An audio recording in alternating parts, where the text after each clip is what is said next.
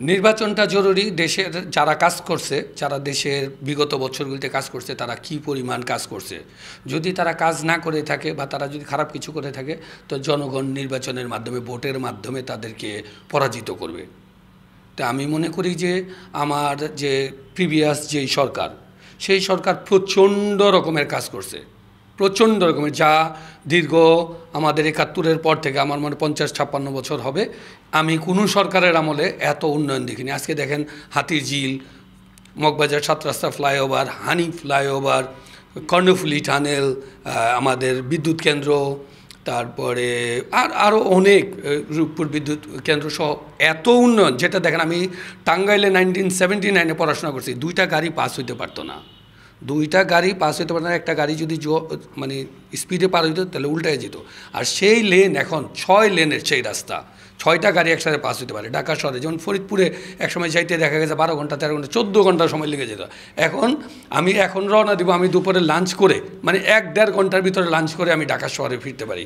তো এই দেশের সরকার যে উন্নয়ন করছে, আমি মনে করি যে এই তাকে আবার নির্বাচিত করা দরকার।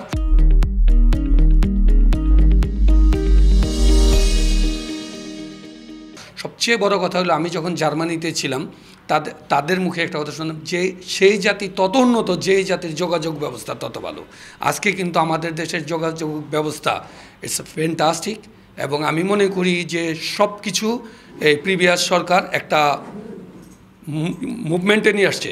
এখন যদি এই সরকার আগামীবার আসে, তাহলে এগুলি ইমপ্লিমেন্ট হবে, আইনগুলি ইমপ্লিমেন্ট যেমন ট্রাফিকের আইন বানানো হয়েছে রাস্তাঘাটে লাইট লাগানো হয়েছে আপনি কী বলে ডিজিটালাইজ করা হয়েছে তো এখন যদি এই সরকার আসে, তাহলে ওই আইনগুলি ইমপ্লিমেন্ট করবে। তখন আর মানুষ এই উল্টা পথে যাবে না। যেমন উল্টা পথে যাওয়ার জন্য একটা পানিশমেন্ট আছে। লাইসেন্স না থাকলে একটা এটা ইমপ্লিমেন্ট করতে হবে তো। এখন শুধু আইন পাস হয়েছে এটা ইমপ্লিমেন্টের জন্য এবং দেশকে সুন্দরভাবে সাজানোর জন্য এই সরকারের পরবর্তী পর্যায়ে আসা দরকার। দেখেন, আমি যখন মালয়েশিয়া ভিজিট করছি আজ থেকে প্রায় পনেরো বছর আগে, আমার কাছে মনে হয়েছে এটা একটা মিনি কানাডা।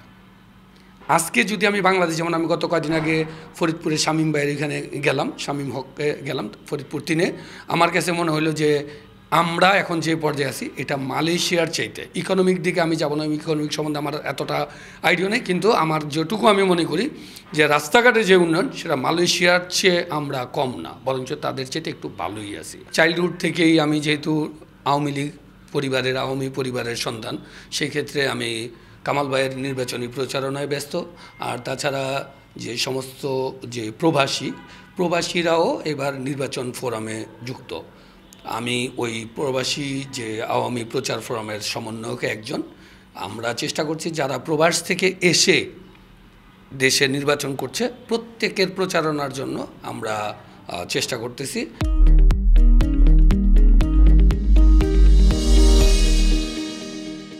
আমরা চেষ্টা করব যেন প্রত্যেকেই জিতে জয়লাভ করে এবং আমাদের প্রবাসে যারা আছে, এরা প্রবাসী যারা আছে, এরা যেন প্রত্যেকের ঘরে ঘরে যায় যে এই নির্বাচনী প্রচারণাগুলি চালায়। যে সরকারি আসুক, আমি মনে করি আমার দেশের আইনের ইমপ্লিমেন্টটা খুব জরুরি। আমার সর্বকথার এক কথা হলো, আইনের ইমপ্লিমেন্ট একেবারে হান্ড্রেড পার্সেন্ট যেন হয়, সেটাই আমার প্রত্যাশা।